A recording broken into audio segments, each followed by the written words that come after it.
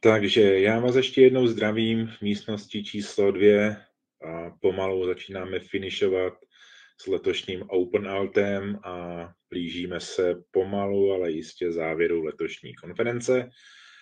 Ale předtím tady ještě máme tři přednášky a jedna z nich, jak už vidím, jako konečného ahoj, a který vám něco řekne o GitHubu, GitHub Actions a vlastních strojích a dává zajímavou otázku, jestli je to bezpečné. Takže já už ti nechám volné pole působiště a předem děkuji za tvou přednášku. Prosím. Díky moc. Takže ahoj všichni. Tahle, ta přednáška bude trošku techničtější, ale myslím si, že to nebude tak strašný. A, a byl jsem tak nějak, jsem se k tomuhle dostal, protože jsem viděl, že to není tak známý, do jakých problémů se obecně může člověk dostat na téhleté, na téhleté úrovni automatizace a říkal jsem si, že by bylo dobrý na to upozornit. A, a takže první něco o mně. Jmenuji se Jirka Konečný a pracuji v Red Hatu jako vývojář Anacondy a, a tam jsme právě poměrně nedávno, asi tak tři čtvrtě roku to bude, což z hlediska toho vývoje není zas tak moc dlouho. A jsme přešli na GitHub akce. A přišli jsme tam z interního řešení právě kvůli tomu, aby to bylo přístupnější komunitě, aby to bylo jednodušší na manažování a tak dále. Ale jednu věc, co jsme zjistili, a na tom budu mluvit potom, takže nám nedokáže, nám nestačí a řešení uh, hostů, runnerů, který jsou jako přímo na GitHubu, na tu automatizaci. A tak jsme museli přijít k tomu, že jsme využívali vlastní. Budu mluvit o tom proč, to ještě mám ve slidech, ale zatím jenom tak ve zkratce. No a důvod k tomu napsání téhleté, prezen, téhleté prezentace vytvoření a odprezentování je ten, že jsem, taková ta poslední, poslední kopanec, bych řekl, bylo, když jsem našel takový nějaký blogpost, kde bylo řečený, tak tohle je návod, jak si přidáte Fedora CoreOS do GitHubu na self-hosted. Jú, super, jede to, jej. No jo, že žádný informace o tom, jako, na co si lidi mají dávat pozor. Tak jsem si říkal, no, to je ale trochu nebezpečný. tak dobře, tak na tom asi musíme udělat nějaký ten. Zajisté jsem hnedka přispěl na, na tu diskuzi, ale řekl jsem si, že bude lepší, když o tom udělám přímo prezentaci.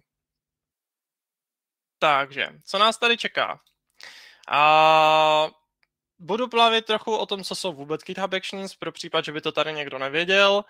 A budu uh, mluvit o vlastně říka, uh, mluvit o tom, na co si dát pozor z hlediska spouštění GitHub Actions s GitHubovými strojema a potom se zaměřím i na ty vlastní stroje. Původně jsem si myslel, že tu prezentaci udělám víc zaměřenou na ty vlastní stroje, ale když jsem nad tím začal uvažovat, tak jsem si říkal, že to je aplikovatelný i mimo to a že bude lepší to rozdělit. Takže ta přednáška bude tak jako půl na půl, bych řekl, zaměřená na to a na to. Jo, a potom vám zajisté řeknu, jakým způsobem předejít těmhle problémům. Takže jedeme dál. A co jsou to GitHub Actions? GitHub Actions je automatizace GitHubu. A funguje to velice dobře. Je to zdarma pro open source projekty. Pokud máte public repozitář, můžete si tam dát jejich zdroje, jejich uh, zdroje a neplatíte za to vůbec nic, ani nemusíte nic řešit, jenom prostě vytvoříte soubor, který popisuje, jak to má fungovat. Všechno je out of the box, funguje to velice krásně, můžu říct. Host, eh, veme to, to autom, ten automatiza, ten stroj se tam objeví na ten workflow, na, na, ten, na, na, na to, co chcete spustit během pár sekund, trvá možná dvě, tři sekundy. Pokud se to povede, budu dělat live demíčka, uvidíte to je to fakt jako rychlý, kvalitní a ty hosty nejsou zase tak špatný, mají myslím dvě jádra a snad 16 GB ramek nebo něco v tom smyslu, nejsem si teďka z jistý.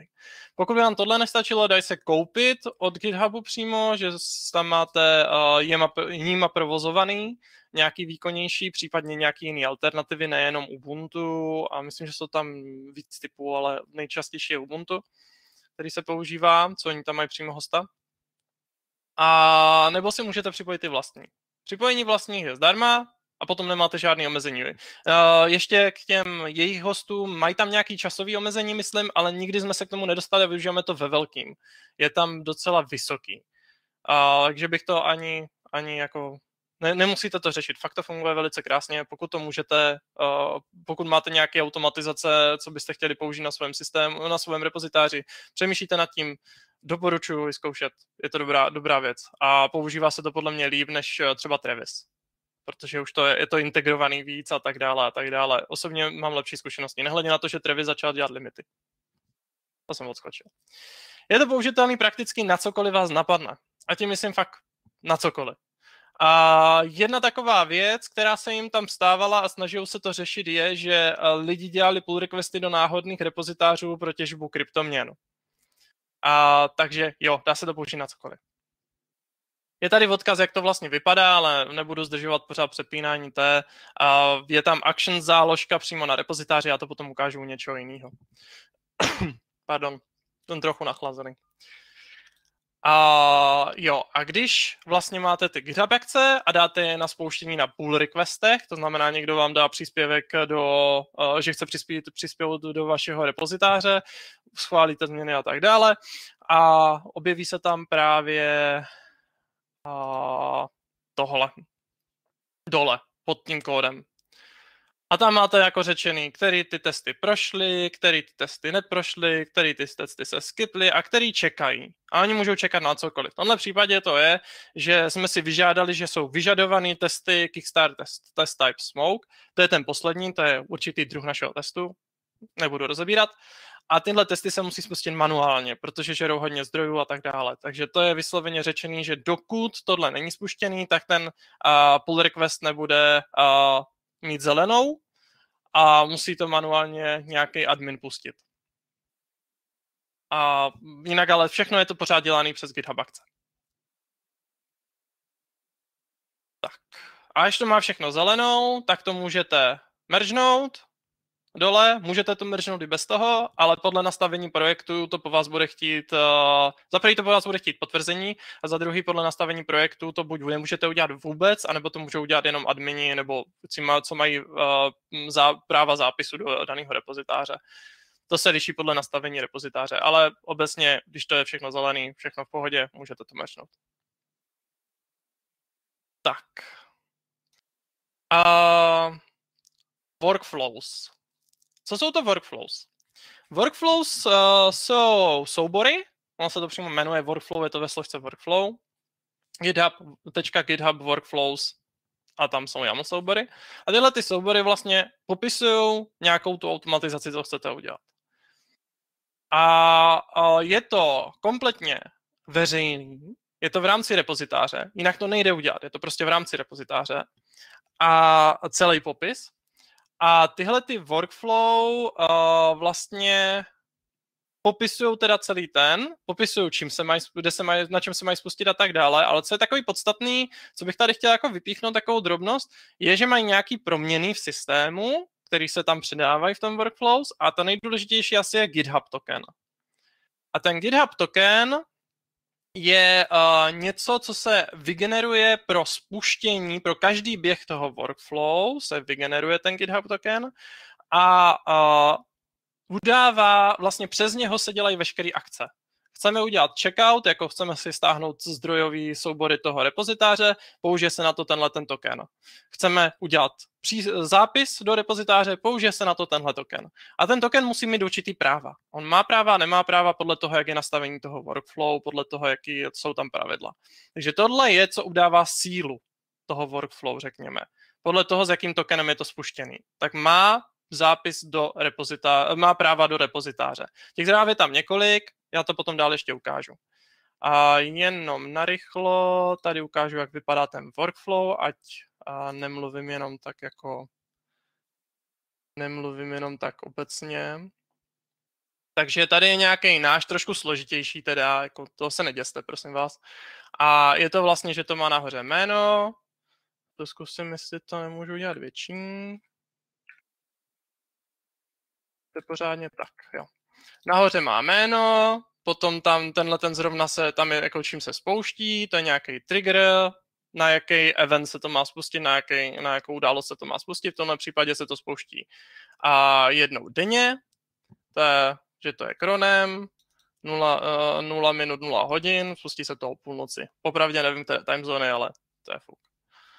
A, a potom tady jsou, to budu mluvit dál, a tady je vlastně důležitý uh, dál přednášce, a tohle je důležitý, že tam je vlastně vytvořený ten jobs, a teďka ten jobs popisuje vlastně ty jednotlivý, uh, jednotlivý jako kdyby ty workflow. Na jednom trigger můžeme mít víc jobů. Tenhle ten job se jmenuje Refresh Containers a vlastně dělá to to, že v Anacondě uh, pro určitou matici uh, vygeneruje kontejnery, které potom ukládáme, aby jsme je nemuseli buildit pro každý ten, pro každý spouštění testu, aby to bylo rychlejší. A potom to pušuje do repozitáře. A tady je vlastně potom důležitý steps, což jsou ty kroky toho jobu. A to je vždycky jméno, nějaká akce, která se spouští, nebo run, což je bashový skript, a potom vlastně obsah toho, co tam je. Ten má zase nějaký proměny a tak dále a tak dále a tak dále. To nebudu řešit, to je, to už tady, tenhle ten je takový, říkám, složitější, ale ukážu je úplně primitivní. Tak. Takže já teďka bych teda eh, po vysvětlení nějakých těch úplných základů bych řekl, tak uh, přejdeme trošku dál. A to budu teďka popisovat vlastně, co jako se může stát, nějakým stylem, jako bych řekl, úvahy, když jsem to já se učil, když jsme vlastně k tomu přišli a když jsme to začali používat.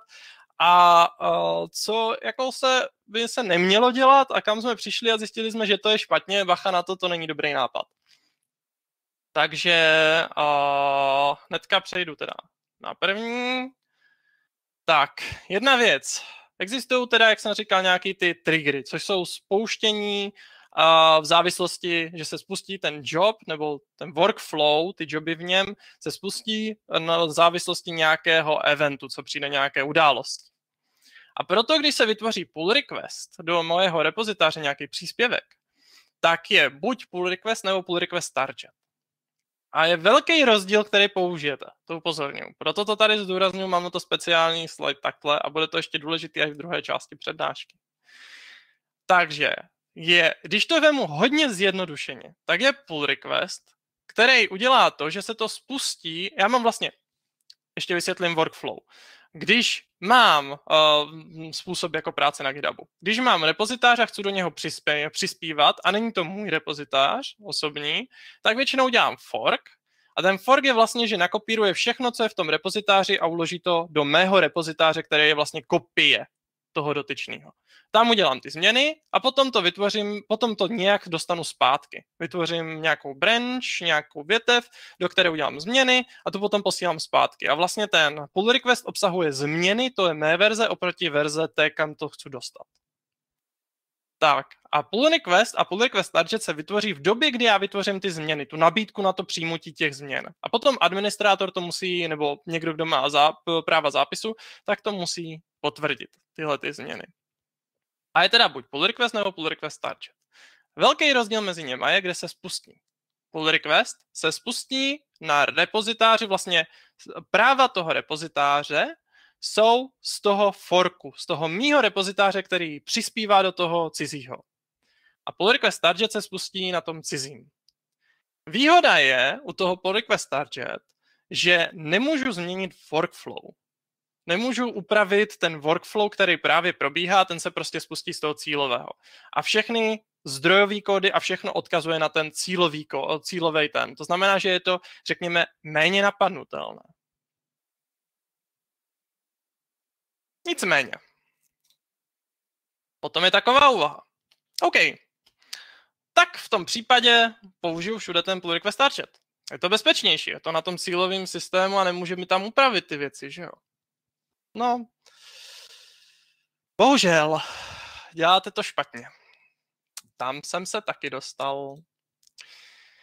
A naštěstí uh, se mě obecně žádná z těch věcí, chyb, které jsme dělali v průběhu, nevymstěla a všechny ty věci, které tady říkám, jsme vlastně přišli dřív uh, na to, že to je špatně, než se to vymklo kontrole, anebo než se to vůbec naimplementovalo občas. Takže, v čem je ten problém?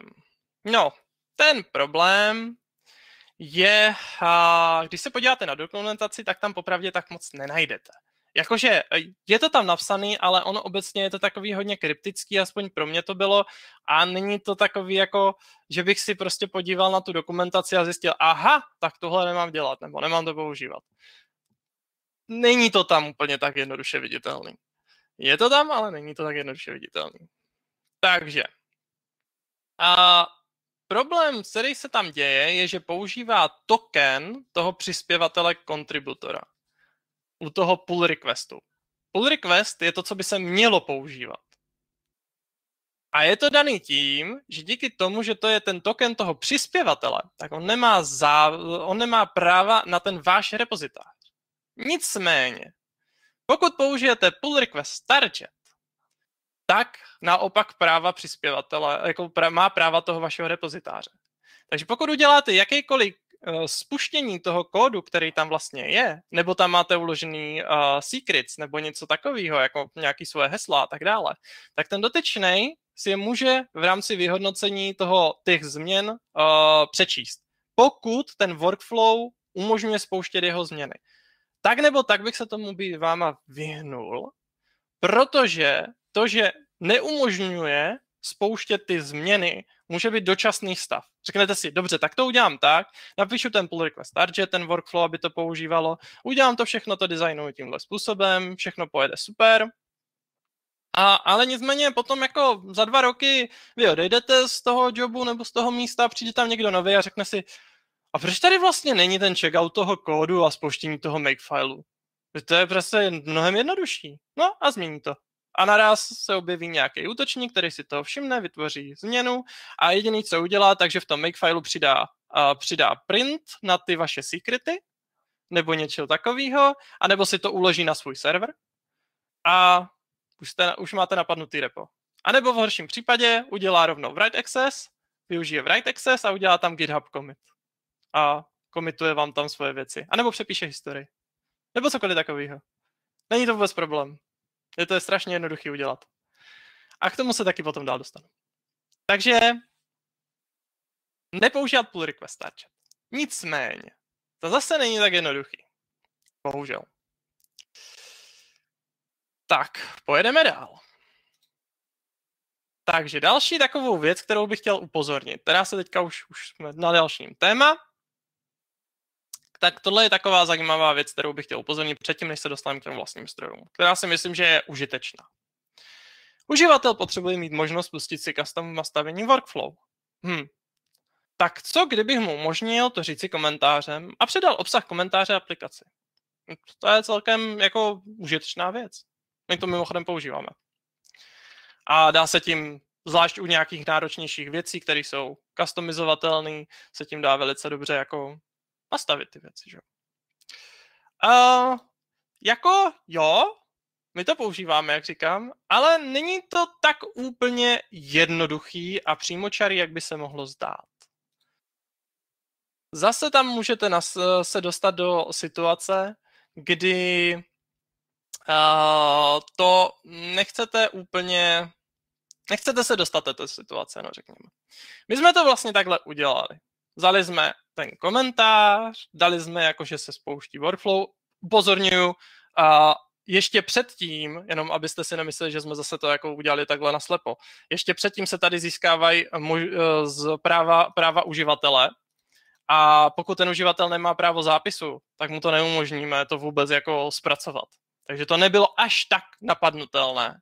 Ale nicméně, když jsme to udělali, tak se nám ozval přímo GitHub a za to jako klobouk dolů, Přímo GitHub skenuje uh, všechny repozitáře a hledá v tom nějaký tyhle ty problémy, které jsou známé. Všechny ty workflow fily.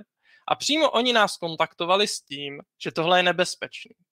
A jako uh, řešení téhle situace nám doporučili používat, uh, dávat to vlastně do proměné systému. Uh, do, prom, do env uh, hodnoty, jak tady vidíte. Do tohohle. Protože když se to dá tady, tak se tam nespouští shellový kód. A dál se s tím pracuje už jako stringem. Nicméně, když jsme si to dávali uh, do toho těla, přímo v, v bashovém skriptu, tak jsme měli vlastně bash injection. Kdokoliv tam mohl napsat jakýkoliv středník, skončit vlastně ten, napsat ten workflow, skončit středník a potom pokračovat dál. Jak říkám, u nás to nebylo tak napadnutelné, protože jsme věděli, že to můžou dělat jenom lidi s uh, write accessem. Ale vzhledem k tomu, že ta mitigace jako to řešení té situace je jednoduché poměrně, tak uh, jsme to zajisté tam naimplementovali.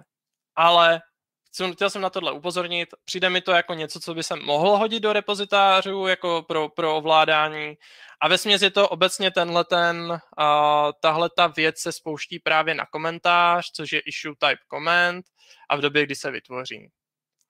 A je to vlastně uh, vážně, že se uh, tam přečte, zjistí, že, se to, že to začíná ten komentář lomítko Kickstarter test. Je to poměrně častý i u třetích stran, uh, u služeb třetích stran, že to dáte tam komentář do toho repozitáře a do toho pull requestu a ono to něco udělá ten issue comment je na pull requestech, jo, nedivte se, že tam je issue. Jo, jenom tak, protože uh, v rámci uh, GitHubu nerozlišují mezi issue a pull requestem. Issue a pull request je to samý z hlediska GitHubového API. Oni to neřeší. Pro ně je to jenom pull request, který má kód. Uh, teda issue, který má kód, ten pull request. Jinak jako je to prostě issue. Uh, jo, Kdyby byly jakýkoliv dotazy, uh, tak se ptejte. Uh, já vím, že to může být trochu matoucí a že tam občas možná jako přeskakuju v myšlenkách, ale uh, klidně se ptejte, no, pokud by se vám nebylo něco jasné. Tak tady tohle bych řekl, že jako funguje dobře a můžu doporučit, kdybyste vážně potřebovali na, Kickstar, na, na, na GitHubu ovládat něco na komentář, předávat parametry nebo cokoliv takového, není to zas tak strašně složitý. Klidně se podívejte na Anacondi repozitář, to jsou všechny ty linky, které tady ukazuju a my to používáme poměrně dost, tyhle ty věci. Tak a teďka se teda dostanu a do těch vlastních strojů, což jsou self-hosted runners a popravdě nevím, vlastní stroje mi přišel divný překlad, ale nic lepšího mě nenapadlo, takže se to případně omlouvám. A na co si tam dát pozor? A nebo ještě předtím. Proč vlastně vůbec jít do těch eh, self-hosted runnerů? Proč nepoužívat jenom GitHubový? A výhody, nebo a důvody, důvody, proč to udělat v našem případě byl přístup k DevKVM, což je socket, který používají uh, virtuálky. Většina uh, systémů pro ty automatizace Travis a tak dále a tak dále a tak dále nemají přístup k DevKVM. Důvod, uh, a to znamená, že nemůžete na nich vytvořit virtuální stroje. Důvod je ten, že a, to je teoreticky nebezpečné. Přesněji přes dev KVM se dá dostat k jiným virtuálním strojům na test na tom stejným fyzickým hardwareu. Tak mi to bylo vysvětleno. A proto z tohohle důvodu oni to většinou nedávají. Kdo to třeba má, je Amazon, ale Amazon to má pouze, když si pronajmete vysloveně fyzický hardware a to je to nejdražší, co vůbec mají ze všeho. Tak když si pronajmete ten fyzický hardware, kde jako tam není možnost to naborat, nic jiného, protože vy máte celý ten hardware, tak zaplatíte strašný prachy, ale prostě můžete si s tím hrát, můžete mít přístup virtuálek a tak dále. Kvůli tomuhle my používáme stroje eh, z vnitřní sítě. A to je přesně ten problém, na co si musíte dávat bacha. Je to vnitřní síť nesmí vám do toho nikdo nabourat. A myslím si, že takhle to má většina lidí. Že největší důvod, proč vlastně výhody toho, proč používat ten GitHub, a což je mimochodem jedna z hlavních výhod, nepotřebujete veřejnou IP adresu, protože ten stroj se připojuje uh, do GitHubu, ne naopak, takže GitHub nepotřebuje kontaktovat ten stroj. Vy potřebujete mít přístup do internetu, ale nebyt, nebyt viditelný z internetu. A díky tomuhle a si myslím, že většina lidí právě to tam přidává ty self-hosted kvůli tomu, že na vnitřní síti jsou nějaký zdroje, které veřejně nejsou. To je podle mě nejčastější případ. A je to jako blbý, ale uh, bohužel, tako, jako ta situace to občas fakt vyžaduje. V našem případě to byl ten DevKVM, Nicméně tam jsou i nějaké interní věci, ale to řekněme je až vedlejší ten, ten dev KVN pro nás nejpodstatnější, protože problém vlastně eh, instalátoru je ten, že se těžko testuje a testuje se tak, že prostě instalujete stroj. A instalovat stroj a zaraz na něm spouštět testy asi moc nejde, takže musíte mít virtuální stroj, který jako nastartujete, spustíte v něm ten instalátor a potom vlastně zjistíte, co se stalo s tím strojem ale jako bohužel to nejde jednoduše tohle, tohle řešit. Musíte mít někde nějaký ten, musíte mít přístup k tomu, jak byste vytvářeli ty virtuální stroje. A jo, to jsem vlastně řekl, výhody, nevýhody, jak, jako jasná nevýhoda, musíte se starat o ty stroje. Musíte se starat o to, aby nebyly napadnutelný jednoduše, aby neměli, aby, aby, aby se nedali. Oni, teda oni jsou použity jenom na ten workflow, nejsou veřejně se sítě viditelný, ale pořád přes ten workflow vám kdokoliv může vytvořit nějaký pull request a může tam teoreticky něco propašovat. Bacha na to. Je dobrý mít ty stroje up to date se záplatama a tak dále. A jak jsem tady celou dobu vlastně upozorňuji, nebo jak tady celou dobu upozorňuji na přednášce, je jednoduchý se střelit do nohy. Něco přehlídnout, něco minout. Uvidíte sami. Uh, tak a to nejpodstatnější je dole tučně. Doporučení od GitHubu je používat self-hosted runnery pouze a jenom na privátních repozitářích. Upozorňuji, je to doporučení. Oni vám to nezakazují, ani nepřikazují. Jenom varují, že to může mít neblahé následky. Ale je trochu smutný, co mně přišlo, že neupozorňují aspoň na ty nejčastější. To jsem tam nějak nenašel upozornění jako proč to nedoporučují. Tam je spíš takový nějaký obecný řeči, ale že by jako měli třeba články a s tím, blogposty s tím, že tohle se dá zneužít, tohle se dá zneužít, přečtěte si tohle, než do toho budete. To se tam bohužel moc neviděl, to by možná bylo docela dobrý pro ně na zlepšení. Tak, a jdeme zase stejným způsobem jako předtím. Tak, mám ten Self-Hosted Runner. No, však co? Tak mám Self-Hosted Runner a použiju ho jenom na schedule akci. To přece není jako kód zvenčí, to není od cizího člověka, to je prostě něco, co tam já spouštím a spouští se to na mojem repozitáři. Jako není žádný problém. Co by se mohlo stát? No, může. A přesně takhle, jak je tady ten obrázek, jsem se cítil, když jsem to zjistil. Naštěstí jsem to zjistil tak, že jsem fakt snažil se všechno ověřovat, jestli to funguje, takže jsme to nikdy předtím nenaimplementovali jsme to jiným způsobem. Ale dostali jsme se, a, nebo zjistili jsme, že to takhle funguje a to je jedna z největších věcí. Pokud si odnesete jednu věc z této přednášky a budete chtít používat self-hosted runnery, ať je to tohle, protože to je fakt podle mě strašný facepalm, který GitHub by měl už dávno opravit a bohužel se tak ještě nestalo.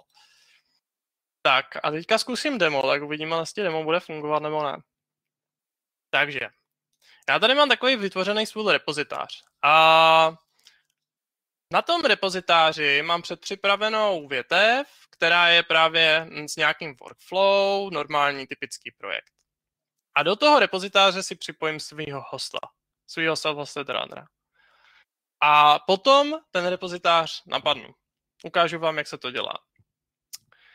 A ten repozitář zároveň je i proto, kdybyste chtěli, tak je to vytvořený takový malý repozitářek, jenom co jsem si já udělal právě pro tuhle prezentaci, který právě umožňuje spouštět ten self-hosted runner. Tyhle ty soubory obecně neřešte, ty jsou jako obecný právě pro to spouštění. Jenom vám to ukážu, kdyby to pro někoho mohlo, pro někoho by to mohlo být zajímavý na právě testování těch self-hosted runnerů předtím, než do toho půjdete přímo na tvrdo nebo něco takového. Takže je tam kontejner, který vlastně udělá to, tady jsou minimální závislosti, abych mohl spustit toho self-hosted runnera a udělá to, že vytvoří nějaké složky, bla, bla, bla, stáhne si, toho, stáhne si tu binárku z toho self-hosted runnera a, a, a vlastně ju použije vlastně, no. Jo, ještě tam nakopíruje, nakopíruje spouštěcí skript a ten spouštěcí skript je tady ten je trošku, trošičku vypadá složitěji, ale taky to není nic strašného. Zase uh, stáhne se, stáhne se, vlastně použije se GitHub token, který potřebujete a, a ten vám vlastně umožní zaregistrovat ho toho runnera a dáte mu nějaký labely a tak dále a tady se to spouští. A na konci tohohle, uh, tohle je udělané, aby to bylo co nejbezpečnější, tenhle ten kontejner, takže když uh, na tom jednou spustíte, uh, vlastně jednou se spustí s tím ta, self, uh, s, tím ta uh, akce, tam, ten workflow, jedno se, jeden se vykoná, tak se ten kontejner zabije. A musíte ho spustit znova.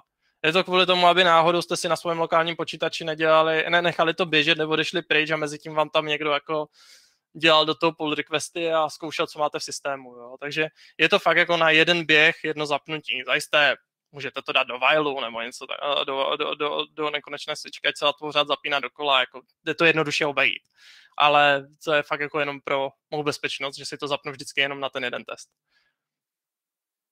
Jo, a potom je tady vlastně ještě skriptí, který to jenom spustí. Tady je ten soubor toho, toho tokenu, který potřebuju na to, aby mě to umožnilo registrovat do toho. A momentíček. Je tady pořád řeší pes. Tak a jo, a tady je ten vlastně repozitář, na který se má připojit. Jinak tady nic jako není. A to je ještě, ještě label, s kterým se má připojit, protože přes ty labely se potom identifikují ty uh, randři. Tak, Jo, a tohle je název kontejneru, jenom kdybyste to nevěděli. Jediný závislost, kterou to potřebujete na tohle, abyste to spustili, je pod jméno. Nic víc není potřeba. Tak. A já vám teda zlobí nějak myš. Um, jo. Já vám teda ukážu ještě vlastně to zaregistrování toho, spuštění toho hosta a zaregistrování toho vlastního. Takže když se dostaneme sem a tady jsou, to bylo nastavení, tady jsou akce, tom jsou runři, žádný ho nemám, takže si ho musím zapnout.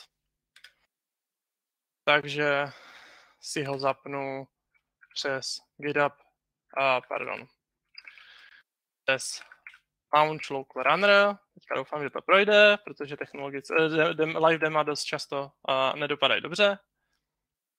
A tam nějaký deprecation warning, to neřešte. A, a listening for jobs. Tak se na to podíváme. Refresh. A je tady. Takže takhle jednoduché je tam dostat runnera. Nepotřebujete fakt nic řešit, jenom mít ten token. Ještě jsem chtěl vlastně ukázat, teď mě napadá, ten token je uh, tady, vlastně settings, a v settings to najdete v developer settings, personal access token. Jo, a jediný, co potřebujete, je public repo. Nic víc nepotřebujete. Proto, abyste zaregistrovali, za, zaregistrovali toho servoset runnera. Bacha, to neznamená, že ty workflow, které jsou na ně spuštěný, mají pouze public repo. To je něco jiného. Tohle je jenom proto, aby se registroval ten host do toho systému. To, s čím se pouští, s jakýma právama se pouští ty, ty workflow, to už je něco jiného. Tak. Takže to si vygenerujete, vrazíte do souboru a můžete to normálně spouštět. Je tam když tak readme na tom repozitáři. Tak a já jsem si to trošku uh, předpřipravil tady tohleto. a momentíček. Uh, já jsem si vlastně udělal, no, první to ukážeme. Tady přepneme tu správnou branch. A tady je ten workflow, to je test YAML, nic víc vlastně. A to je úplně jako jednoduchý ten, jo. Jednoduchý test jméno, spouští se na pull request a vytvořil se nám job, který je nope, prostě název jobu. Spouští se na Ubuntu 20.04, což je jejich host, eh, self-hosted, nebo eh, GitHubový runner, to není vůbec můj runner, můj runner tady tomhle jobu nikde nepoužívám, v celém repozitáři ho nikde nepoužívám, pouze o tom mám připojený. Nikde není využitý. A potom je tady počet kreků, krok, teda, pardon, počet kroky a kroky je prostě jenom, že napíše full, nic víc. Jo, je jen fakt úplně primitivní věc. Nic víc to nedělá. Tak, vytvoříme pull request do toho repozitáře. Teď budu trošku podvádět, a protože není tak primitivní mít druhý repozitář, ke kterému nemám práva, tak to budu dělat jako pull requesty z, vlast, z toho stejného repozitáře do toho stejného repozitáře. On to GitHub umožňuje. Není to úplně jakože pro vás průkazný, ale věřte mi, funguje to. Včera jsem to zkoušel i na předevčírem. Předevčírem jsem to zkoušel schválně ještě pro jistotu, jestli se nemýlím. Zkoušel jsem to do úplně cizího repozitáře a taky to tam funguje, funguje, chová se to naprosto stejně, takže to, že to budu dělat do vlastního, do vlastního, vůbec nic nemění. Funguje to úplně totálně totožně. Takže já to chci dát. Use runner on. Another workflow. Tak. Tady vidíte změny, jo. Tohle je, co udělá. Jediný, co udělá ten můj, ten můj útočný pull request je, že přepíše ten workflow, aby nepoužíval Ubuntu 20.04, ale používal místo toho v závorkách local, což je label toho mýho self-hosted runnera. Takže aby použil self-hosted runnera a s, na, s, labelem, s, s, s labelem local. Nic víc. Vytvoříme nový pull request. Tady jde vidět, že jsem to už zkoušel předtím, ale využijeme, vytvoříme nový pull request. Jasně, to mě nezajímá. Tak, teď chviličku počkáme a mělo by se to spustit. Tak, už se to spustilo, takže zmáčkneme, klikneme na detaily. Tak, teďka říká, našel jednoho online, čeká na něho, ono se to teda nerefreshlo, ale už to proběhlo, tady vidět. Když na to znova kliknu, tak se mi to zobrazí celý. No a proběhlo to celý. A teďka proběhlo to na mojem, co, co to to? No jasně, že to proběhlo machine name local runner 1. Takže jo.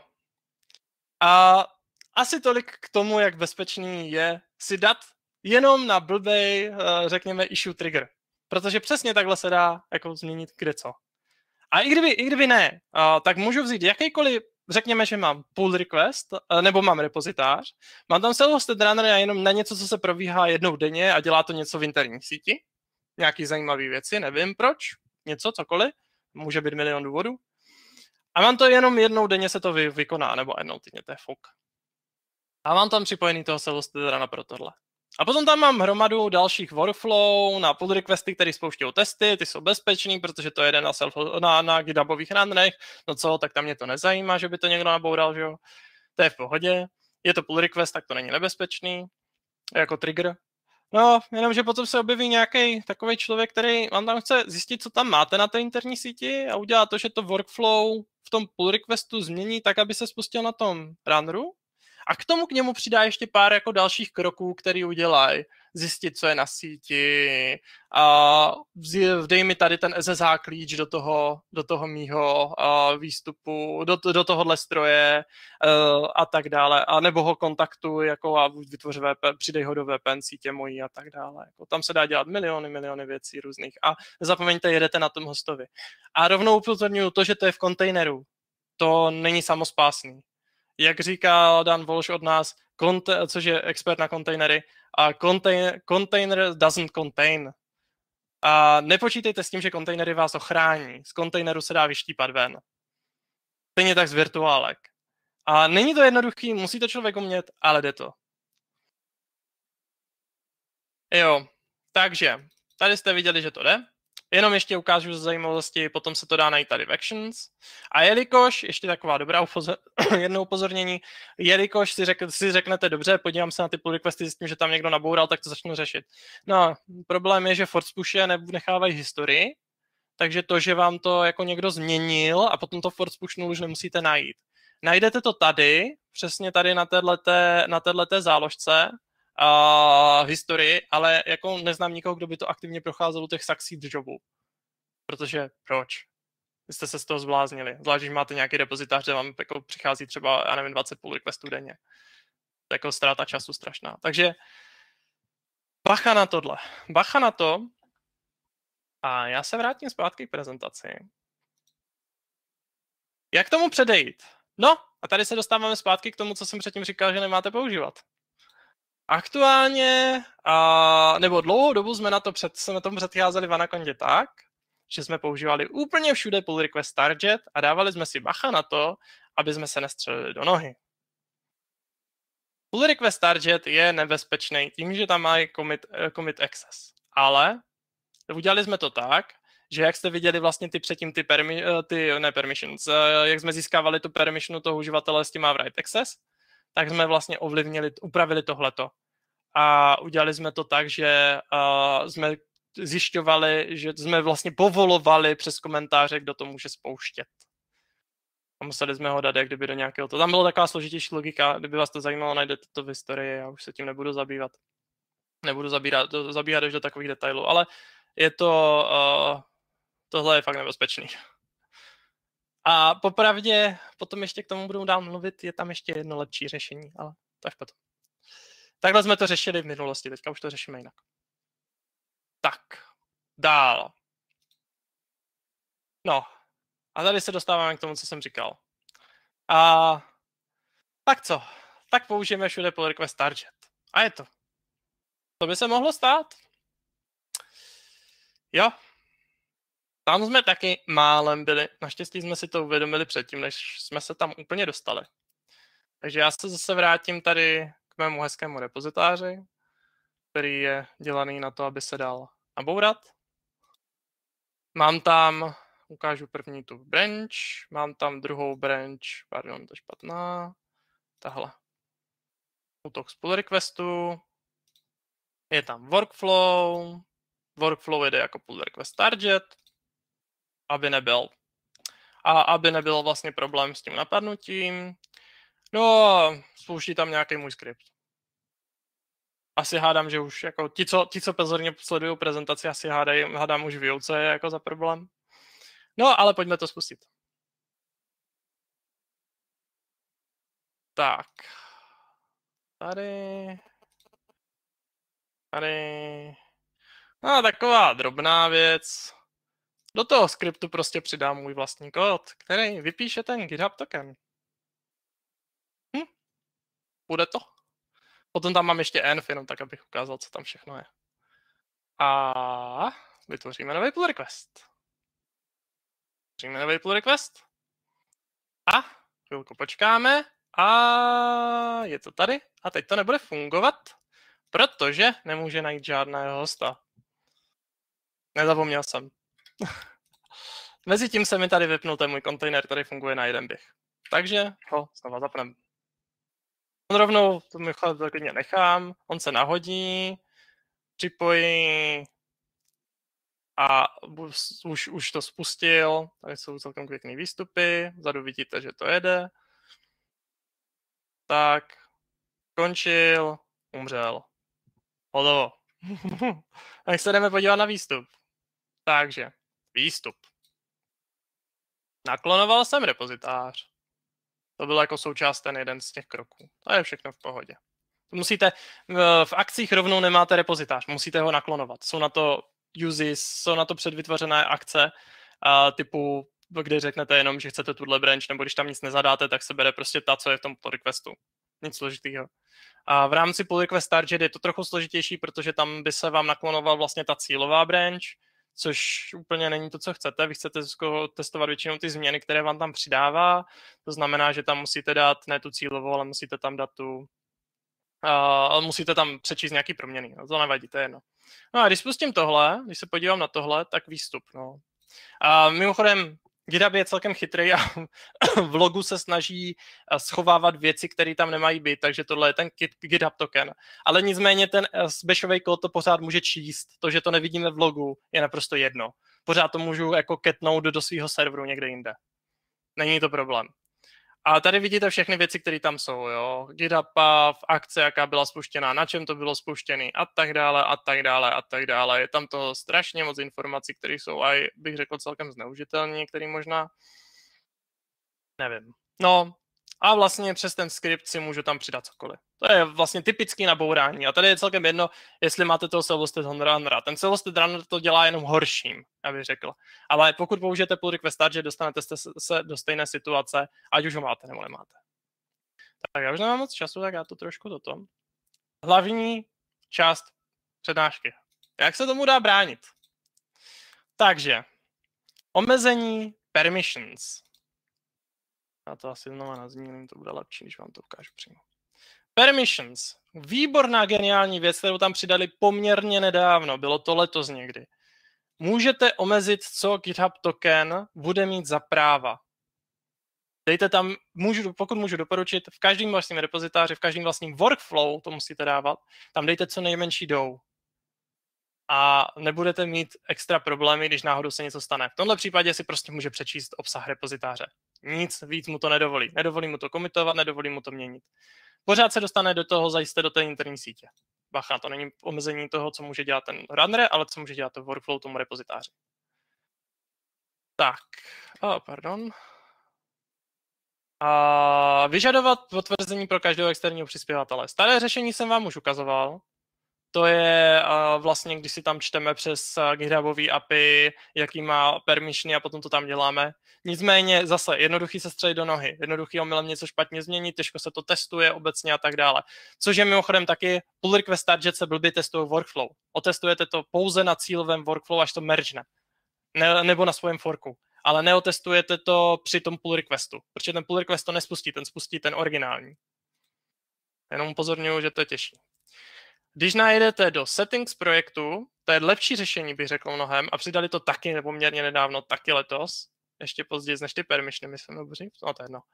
Tak uh, tady máte dole, jo, fork pull request workflow from outside collaborators. To znamená, uh, pull requesty z forků a který jsou z, z externích kolebo, z, od externích přispěvatelů, nemají v rate access, tak potřebují potvrzení vždycky.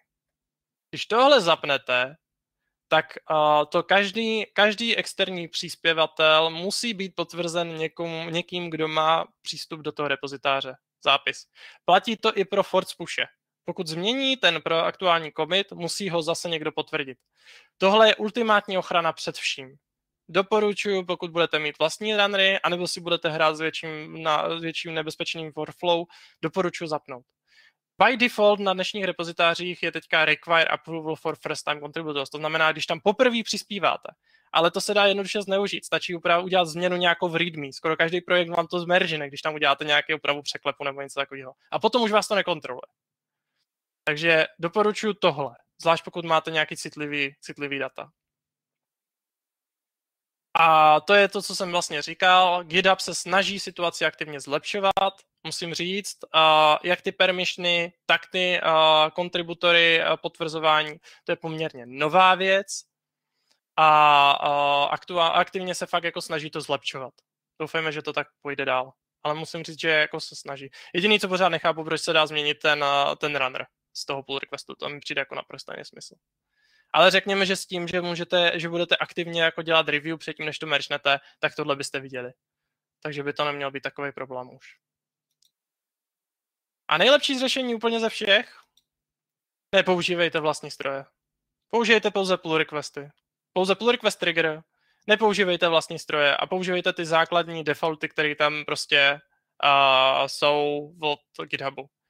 Není nic prakticky, ty pull request targety se hodí ve výjimečných případech, jako jsem ukazoval předtím, když se dostanete do téhle blbé situace, nebo, nebo chcete, já nevím, popravdě mi moc nenapadá v ale ty pull requesty jsou jednodušší naladění, a pull request triggery jsou jednodušší naladění a tak dále a tak dále. Doporučuji.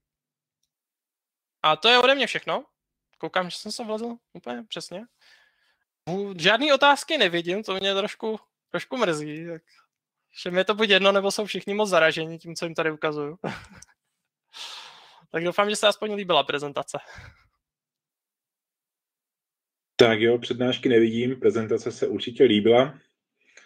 Je zajímavé vidět, co se dá, co se dá dělat a co se může stát, když člověk občas něco nepřemýšlí. Takže je to super, díky za ní. A jo. Já bych dokonce řekl, že to není ani o tom, že nepřemýšlí, ale jako, že si nevšimne. Tam nevšimne, jsou fakt jako, jo. fakt jako změna toho běžícího, změna toho pull requestu, aby se tam přehodil runner, to jako nikoho nenapadne, že tam bude taková strašná díra. Nebo aspoň je to, to přišlo. Je to vlastně takové strašné drobnosti. Jo, takže, ano, který ale zabolí. Takže chápu, takže chápu, že si toho všimnout nemusí být úplně jako zřejmé. Jo. Dobré, moc, moc děkujeme za přednášku.